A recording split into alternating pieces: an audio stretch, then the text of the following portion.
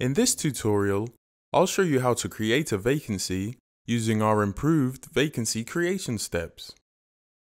To create a new vacancy, from the start page, we'll click New Vacancy. We can do this by either clicking on the content pane or the quick link at the top of the page. We can see our progress bar at the top of the page, which shows our vacancy creation steps in order. And the red asterisks show the steps which are mandatory. We can click the information icon on any page during the vacancy creation steps, and EasyCruit will give us information about the page we're on. We need to decide what the title of our vacancy will be. This will be used to identify the position internally and is not displayed when the vacancy is listed on external websites. The vacancy reference number field is only visible to customers that have this feature switched on, and it will add an additional column in the vacancy list to show this. For customers who have the automatic vacancy reference number function enabled, the number is automatically filled in by the system. We need to decide which languages we want our vacancy to be displayed in. The languages we include here will be used for the application form as well as the advert. From the project owner list, we need to decide the user who is responsible for the vacancy. Non-admin users will not see this option. For non-admin users, the project owner will automatically be set to the user account that was used to log into EasyCruit. We'll select the required country from the drop-down menu and then select the region. We'll click the forward arrow button to add it to the selected region list. We can add multiple regions by holding down the control button before clicking the arrow. And we can remove regions by clicking on the region we want to remove and clicking the backwards arrow. If we want to use collaborative rating for this project, we'll enable it by clicking this box. If we tick this box, an additional tab called Collaborative Rating will appear after the application form section has been completed. Then we'll click Next. On the Departments and Contacts page, we'll select the relevant departments for this vacancy, and we can only see departments that our user account has access to. We can select multiple departments, and when a vacancy with multiple departments selected is posted to a website, the candidate will have to select which department they wish to apply to. Then we'll select a contact person whose details will be displayed within the vacancy listing. This step isn't mandatory, but it will enable applicants to contact us directly. We can add additional contacts by selecting a department and then clicking on Retrieve. Then we'll select the contact we want to add and then click Add. After we tick Next, we're taken to the project profile page. This is an additional feature. The information included here will not be visible to candidates, but will help us to classify the vacancy. And the questions included on this page can be configured to meet your organization's specific needs.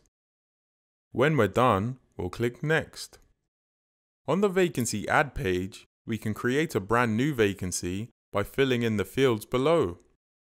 The company name will automatically be populated, but this can be changed. Alternatively, we can either select from the vacancy templates created by our administrator, or select from previous vacancies to use a previously used vacancy as a template. And only the vacancies that our user account has access to will be displayed as templates. If we select a template or previous vacancy, several fields will automatically be populated, and the red asterisks show which fields are compulsory. The information we include here will affect how our advert appears to candidates. And we can see a preview of our vacancy by clicking on the preview button.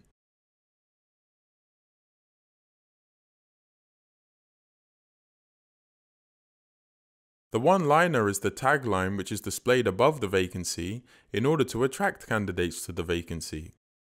The vacancy title is mandatory and this is the name of the vacancy that is visible externally. The date that we set for the application deadline will be the last day that applications will be accepted for the position. This is a free text field and does not control the visibility of the job on channels. The expected start date can be a specific date or a term, such as ASAP. We can include the location of the position and also the appetizer text. The appetizer text is visible after the candidate clicks on the advert. It is usually longer than the one-liner and is used to give a brief overview of the position being advertised. The vacancy text contains all the information about the vacancy, as well as HTML for company logos, banners, videos, and external links. If we've selected multiple languages for the vacancy, we'll need to create the advertisement for all the languages. The Enable Share This Job using AddThis is an additional feature. This allows you or your candidates to share the vacancy on various social media sites. Once we've filled in all the fields, we'll click Next. Now we need to choose which kind of application form we wish to use. If we select Complete Application Form, EasyCruit will include a complete form with all the possible questions from our EasyCruit package. Alternatively, we can select from a list of templates that have been configured by our administrator. If we select Customized Application Form and CV, EasyCruit will only include mandatory questions and allow us to select additional ones that we wish to include. To configure the application form, we need to decide which questions to include. The mark slash tick box will make the questions visible for the candidates to answer. The mandatory box will make questions mandatory for candidates to answer. When we've configured the application form, we'll click Next. To include screening questions, we'll need to click Add Question, and there's a separate tutorial to show you how this is done. Then we'll click Next. If we ticked the collaborative rating box on the first page, we'll now be shown the collaborative rating tab.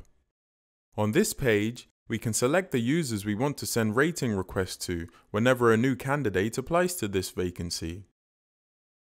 And we can also choose whether to include the applicant's personal details in the email. Then we'll click Next. To activate a response email, we'll click the Edit Pencil icon. The default email is displayed and this can be overridden if required, but will only apply to this vacancy. The different emails we activate will be sent at different times in response to the actions of the candidate. We can choose to send an email or no email, as well as putting a time delay or no delay. If an email has not been activated, no notification will be sent for the action. On multiple language vacancies, once a response email is activated, it is activated for all vacancy languages. A green tick is shown next to the response emails that have been activated, and a red cross is shown next to the response emails that are not activated. When we're done, we'll click Next. Now we'll choose the channels we wish to publish to, and then click Next again. Here we can set specific vacancy details for the different channels we're publishing to. And as before, the red asterisk is shown next to the mandatory field and we can select multiple options by holding down the control button.